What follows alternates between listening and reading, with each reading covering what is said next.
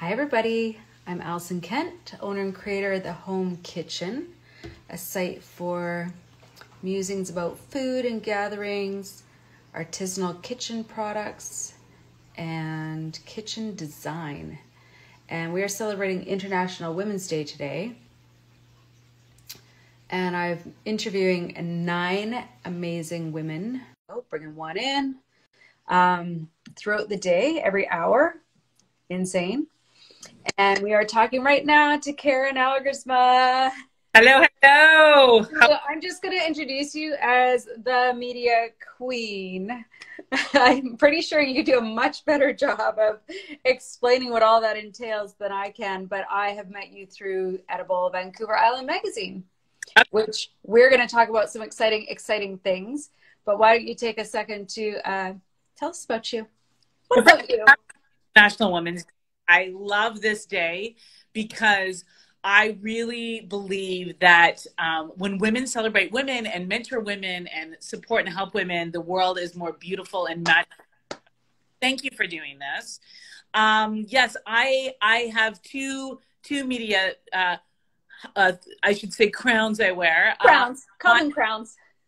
a media production company, a little uh, fantastic video production company called Karen Elgersma Media or KEM.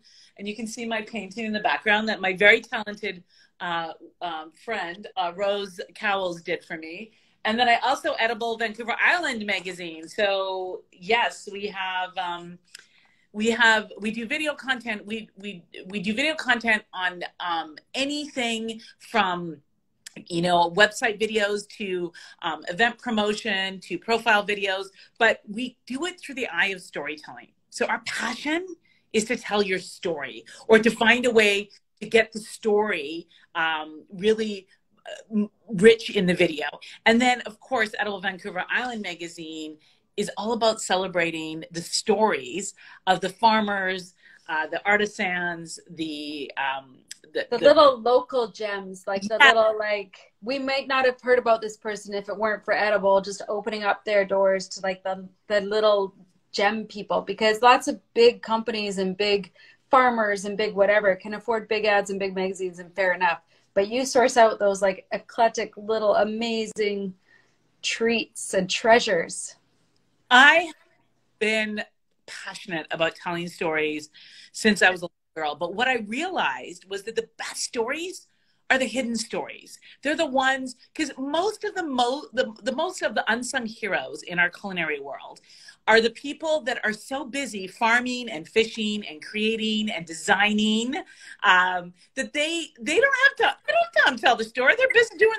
And so our job is to discover them and to listen and listen and hang with them and then find a way to get their story out in the most authentic, richest way. So sometimes that's through, often is through our print magazine, through doing a gorgeous um, uh, print story um, or recipe. We also love a recipe.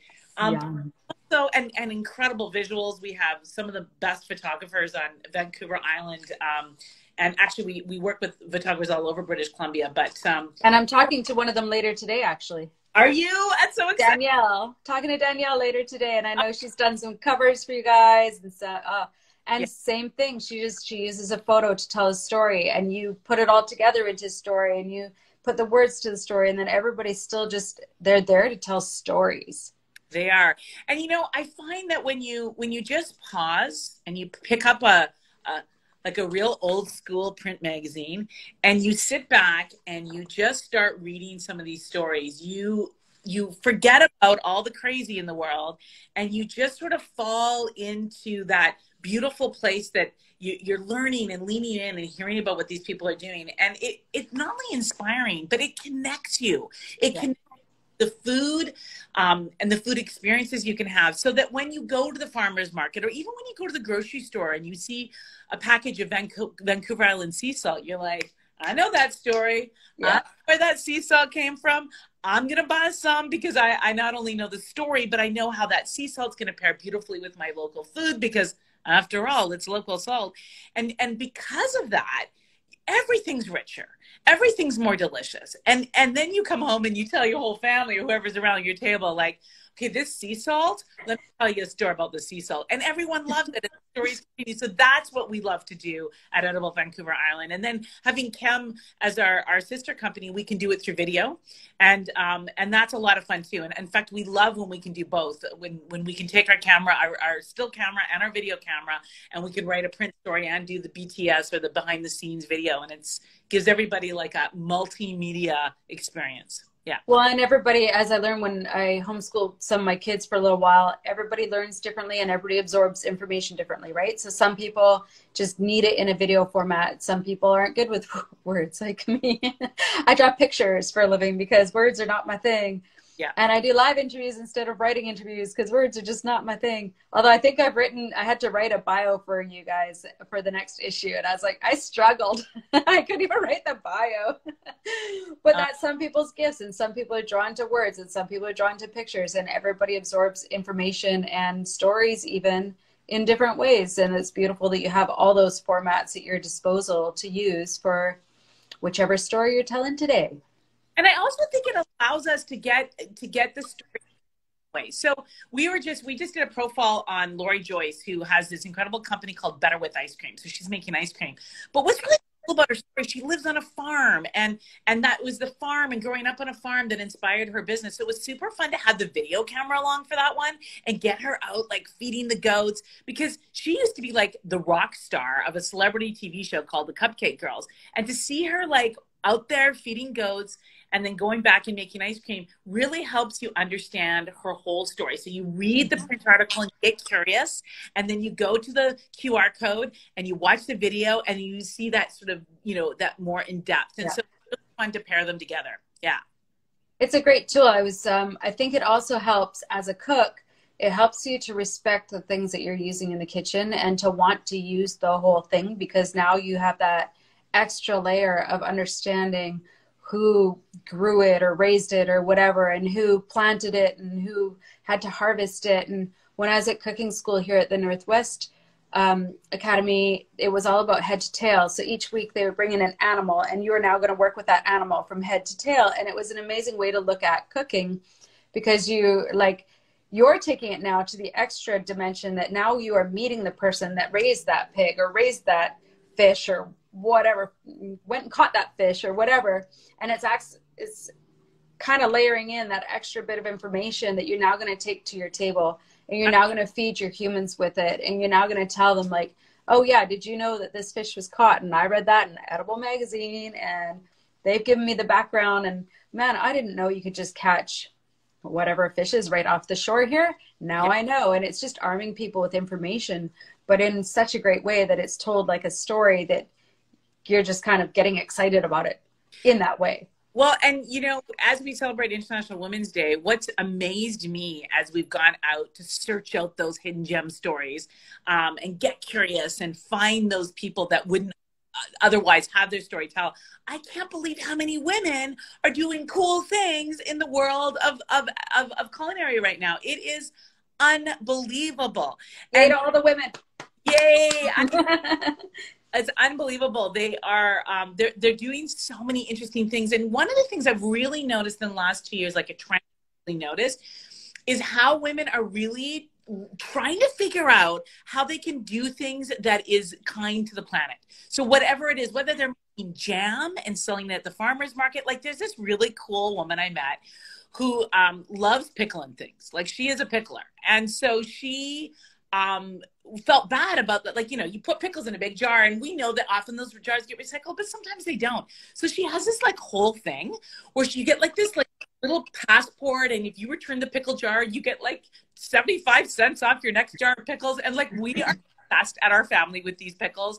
And we have our little card, and like, we'll don't forget your card on your way to the farmers market. So, so I love the way uh, so many women here on Vancouver Island, the Gulf Islands, and all over the world. But for, from our point of view, the yeah. story we're telling, how many women are not only doing very innovative, very interesting, very delicious things, but they're doing it in a way that is better for the planet, better for people, healthier, safer, yeah. and I find that so inspiring because it's not easy.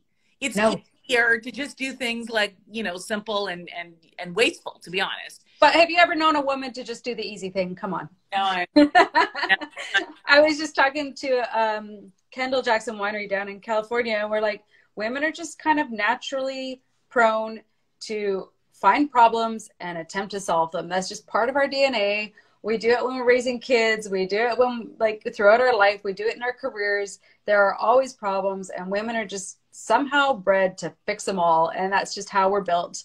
And i think it does lend that extra layer to all these industries and especially the food and beverage industry right now which has had a time the last two years. And who knows how it's going to have to evolve in the next couple years. And i think women are just going to rise and rise and rise in that because yeah. they just love to solve problems. You know what's interesting, Alison, as you are going to be featured in our first ever design issue, which I'm so excited about. Um, so Edible Vancouver Island's first design issue is going to be coming out in a month. And one of the things that I love about this issue is the designers are finding, though, like you, those innovative ways to use, for example, vintage. Um, uh, vintage things, things. That's not the right word. Props, let's just say. Vintage, or vintage right up here, vintage over here. I love that. I love that. I love that because what it does is you are now taking items that would normally go to the the landfill or or you know collect dust in someone's basement and you're repurposing them and making them like not only like beautiful on the table but you're actually making it better creating something better so so by being innovative by thinking outside the box in order to try purpose and reuse things rather than throw them in the garbage, you're actually creating something, in my opinion, is is funkier, cooler, more more playful. Um, one of our uh, one of our contributors for the for this issue actually did that. They they they teach taught people how to set a table um, using kind of what you have, modern things, things that, that you have in your house, and weave in those vintage things and do it in a way that's interesting and fun and playful. And and I I absolutely uh, Ashley and Patricia did that, and I absolutely love this article. But I mean, yes, Alison, I, am sure you could speak to that. Oh, look what you can do with an extra piece of quartz in the hands of a famous artist, right? And you're like, hey, here's a spare piece of quartz, and amazing. Somebody was commenting on another post that it looks like I burn all my food, and I'm fine with that because this stove is fire and it creates fire. So it still is appropriate. But look what you can do when you're just creative and you're using spare bits and pieces and making things happen and making things work. And I, I love the whole concept of it. My house is definitely an exercise in how to merge vintage and modern in a hoarding kind of way. really, to me, it's so exciting because what we're doing is we're making, we're creating trends, we're inspiring trends that actually will help save um, our planet. You know, I mean, I, I, that's a big statement to make, but it's true, and I and I feel like um, that will inspire people to go out thrift shopping instead of going. And we we we also want to support our businesses that sell new things because um, it's important that we, you know, new artists are coming up with new beautiful things that are original. We want to support support those potters or those artisans that are creating love and then combine them with things that have been created. And that's what i love about the the culinary world right now is i'm seeing such innovation. And um, but i think that the the the, the other thing that's really fun and I really want to inspire women um, to help other women in support of the women is find out who are the people in your neighborhood, but who are the women in your community creating one of a kind mustards or or um, or selling um, you know uh, some people it's spices other people it's um, um, you know homemade taco shells or, or whatever it is. Find out who those people are and really intentionally seek them out and get them to be part of your daily culinary experience whether it's that you discover them at a farmer's market or you actually source them out. Like there's so many places like in victoria niche market and um, and places like that that carry a, a plethora of artisans products but find those products and support those people. Because in order for them to continue to thrive as female entrepreneurs they need our support. And that is one simple way you can do it. But i'd even take it a step further. Find out their story. So find out who they are and then find out a little bit about them. Because not only will that experience be richer for you but you can share that with with with two other women. Say you know what I discovered this ice cream, Better with Ice Cream. It is the best ice cream I ever had. And in fact, I've had a hard time with eating ice cream because it's upset my tummy. This ice cream does not. And tell two friends because, by the way, you're supporting a single mom who's working her butt off and creating something beautiful, important, local, and good. And and and those are those are things we can do not only to support women but to keep it going because uh, they're not going to continue to be able to make these delicious artisan products um, if we're not there to support them. And um, whether they're fisher fishermongers, fishmongers, or um, farmers or um, or creators, we need to find out who they are, and then we need to go out of our way to make sure that we are there to cheer them on. And then the last thing I would do is let them know. I mean, honestly, the best moment for me is at the farmers market when I come back to a stand and I'm like, oh my gosh, okay, your mustard, your sauce mustard literally has been like we ate the entire jar this this this week. Yeah. and or um, maybe a farmer i had a farmer give me a recipe on how to use um, i can't remember what it was squash or something a different kind of squash i'd never used before. And i come back and I'm like i tried that recipe and it was amazing. But having those conversations with those female um, uh, entrepreneurs that are doing really brave hard things in order to create one of a kind um, products that we can support in the culinary world and then giving them that feedback. Is that also what they need? They need us to support them by buying their product and celebrating their product and sharing it. And like you said because we're the we're the lovers of food and wine it is our calling to go find them. They don't have time to find us. They don't have time to be on social media 24 7 and further to your other comment like also get to know the media people around you who are passionate about storytelling. Make friends with an amazing photographer who just loves telling um, stories through their photography or through their video or through their writing or whatever. And those kinds of partnerships lead to beautiful things too, because you you can sit there and all you women that are making beautiful stuff just talking to each other.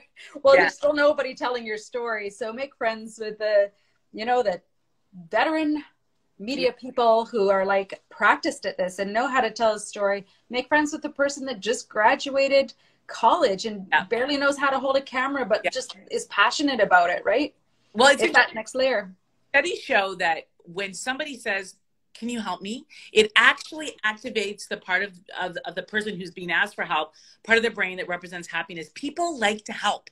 And so if you need help because you need photos for your product or you need your story to be shared or maybe it's your dear friend doesn't even have time to make that call to Edible Vancouver Island magazine, say, you know, you really should tell their story. Do that for them. Uh, because when you when you ask a photographer, a videographer, a writer, um, someone like you um, who's so generous, Alison, with your time to, can I be part of one of your Instagram live events, or can I, um, you know, can I come along with you and watch, job shadow one day and see how you do it? Don't be afraid to ask those people to come aboard to help you get your story there because women want we're longing to find ways to help other women. So don't be shy and ask for help. And i'm telling you you will be as great a gift. You, you will give somebody a gift by asking them for help because it feels good to give especially to help another woman who is struggling to get to get their entrepreneurial you know passions out in the world. And then you know all the people who get to enjoy that product because if we didn't celebrate people like you alison who are doing great things then we wouldn't have all that beauty that you create in the world right? So we we need to help them and celebrate them and then they go up and create all these incredible things that we can enjoy whether it's um, you know uh, a product that we get to eat or an agritourism experience we get to have or uh, uh, you know one of my favorite um, women female entrepreneurs in the culinary business is um, a woman named karen who um, her and her husband own a craft beer company called category 12 and so because she's a female, the artwork on the beer is very female driven. It's like there's a stiletto and there's a like woman riding like a scooter and it is such powerful, sexy beer art. I absolutely love it. And I'm not a beer drinker and I started beer after I met because I'm like, I gotta drink this stiletto. and, and so she has created like um, through her her narrative and through her artwork, yeah. she has created. Um, and this is probably a decade ago when she started doing this, but she really has been part of creating a whole new craft beer culture. That has been exciting. And now there's so many more women in craft beer as a result of it. And there's so many women enjoying craft beer and becoming cicerones and, and doing those things. And I love that because why would craft beer just be for guys, you know? So those are the things that we can do as women um, to, to just sort of change, change the, the narrative and inspire people to not only support women entrepreneurs, but to, to partake in some of the things that they're creating. And I think it's uh, historically, it's just kind of we're used to having to create our own narratives, so it's just a continuation of that in a way too. But yeah. I think that um, I grew up in Victoria. You actually, we haven't talked yet, but you know my sister. All right, your kids and her kids went to the same school apparently because she was here last night and she's no like, way. "Oh, you're interviewing Karen." I know her. Anyways, small world. Yeah. Um, but uh, I think the island. Every time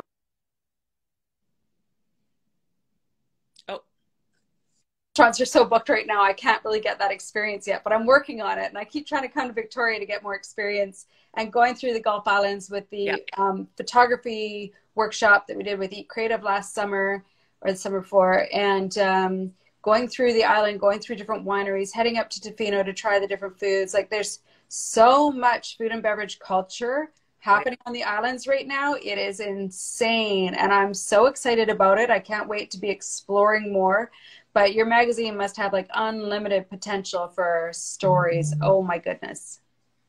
Well, and yeah, and and one of the what, you know what's really funny is when I was in Nashville on a holiday years ago, I picked up an edible Nashville because there's 94 edibles all over the world, and and I it was like my Bible for food the whole week I was in Nashville. That's where I discovered all these great places for brunch, and I discovered the Bluebird uh, Cafe and all these really cool places.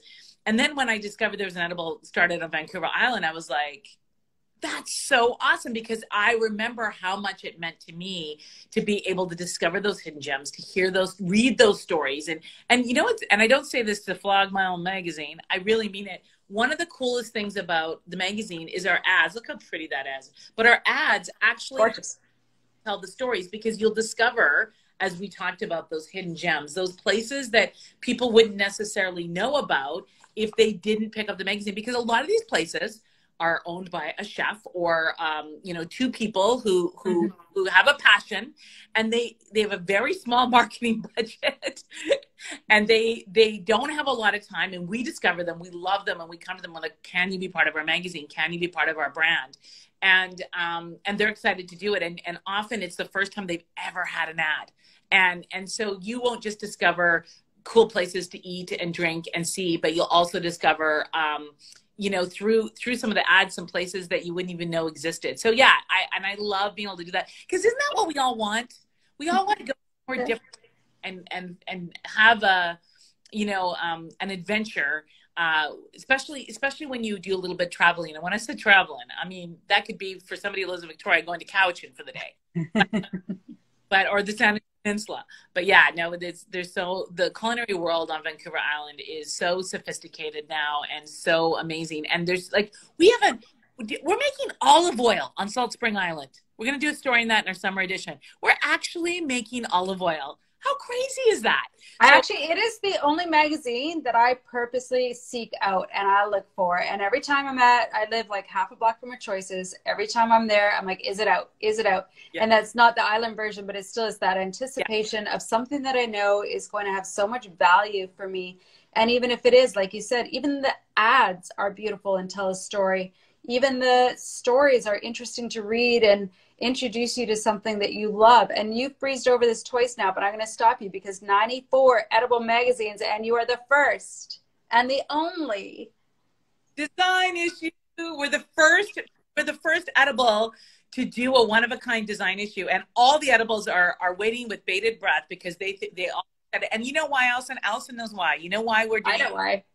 Because it drives us crazy when we go into these beautiful kitchens that were not designed for people who are home chefs or who love to cook, they're designed for magazines who, yes. who want to show beautiful, you know, perfect uh, marble uh, countertops, but they they haven't thought. And it's interesting. When I used to work in television, and every year I would do a, you know, a whole bunch of coverage for all the different home tours that are out there. And I'd always interview the designer, and we'd be in the kitchen, and I ask questions. She'd privately say to me, she goes, "You know, this kitchen's never been used," and I'm like, "What?" And they're like, "Yeah." The homeowners don't actually cook, but they wanted a beautiful kitchen, and it made me crazy. And what I realized is people like you and I who love to cook and love to entertain and love to use the kitchen not just as a place to gather and to make food but to also have like unique experiences whether you're you know uh, hosting like a I, we used to home we we hope to do it again soon like living room concerts where we'd have musicians who were just starting out come into our home and I'm, every- I'm heading to Victoria that day. Oh they're the best. Food and put it on our counter. So kitchens are, are kitchens and homes are meant to be designed for love and and to feel embraced to feel part of something rich to be able to cook delicious food to be able to can delicious food. And so this edible uh, uh, design issue is for people who actually use their kitchens and their and and their culinary world. So that's why we did it. Yeah. And i the other end of that is so many interior designers don't cook. So I, then they're designing so even if the person that owns the house cooks the designer doesn't know how to cook so they don't know which drawer needs to go where. They don't know they're still working with some ancient kitchen triangle theory that doesn't incorporate your number one spot which is your prep area. Yeah. And they're just they're not designing in a way that people actually use and move about kitchens. Yeah. Or yeah. to have the flexibility in a kitchen like sometimes for a couple clients and even in my kitchen here right behind you um, designed a piece of cabinetry that moves because sometimes you're canning sometimes you're doing tons of pasta Sometimes you're rolling out cookie dough like crazy. So why not have an extra counter when you need it? But also that's your baking, but also it can push in so that you can sit there when you need to. And if you cook, you think of these things. If you don't cook, that would never ever occur to you. No. And so finding a designer that actually understands how a used a working kitchen in a home should actually work and function and still look beautiful. Like I like to think, well, the lighting's bad right now, but no, it's beautiful. You know, you said something that was really interesting. You said kitchens should have things on their counter. You know, like it cracks me up when you see these pictures of kitchens in in in, in you know magazines, and there's nothing on the counter. I'm like, this is not a kitchen. You and you, you know what? Who has a kitchen with nothing on the counter? And I, I it's so true. And so, yeah, I, I love, I love Alison. You're a designer that embraces that and celebrates that and designs with that in mind. And that is what this issue is going to be all about. It's going to be about truly um, creating beauty that's functional, right? I mean, I'm the best so excited for it. Women's Day is all about. We're all so beautiful, but damn it, we're functional. yes, we are. We are problem solving, functioning, amazing women, let me tell you. yes, we are. Yes, we are. Yeah, no, it's true. So on International Women's Day, I celebrate all of you amazing women who are uh, killing it. And you know, one of the things I want to encourage women to do right now, um, it's a tough, it's tough, it's tough. It's a tough time in the world and um, is you know maybe use international women's week. Let's make it a week and not just a day. We don't have enough time in one day. Really think about somebody in your life who needs some love. Maybe they lost a loved one this year. Maybe they're just going through a rough time. Maybe um, they lost something else a job or or um, some financial um, situation that they're they're struggling in. And don't ask them what they want. Don't bring them dinner. Just email them saying I miss you. You know what? I'm going to come for dinner. What are your food allergies? I just know anything you hate. Okay, great. Tell me a day that works for you. Here's some days that work with me. And just go. Just go. Don't. And when you go, be intentional about bring, bringing something delicious. There's nothing like bringing someone a home cooked meal. And when you're there, be intentional about just loving on them, whatever they need, whether it's just to listen, whether it's to giggle, yeah. to belly laugh, or whether it's to just tell them how amazing they are. And when you do that, then all of us win. So that's my inspiration for all you on International Women's Day. I love it. And it's your your new format for paying it forward instead like paying yeah. the bill at Starbucks.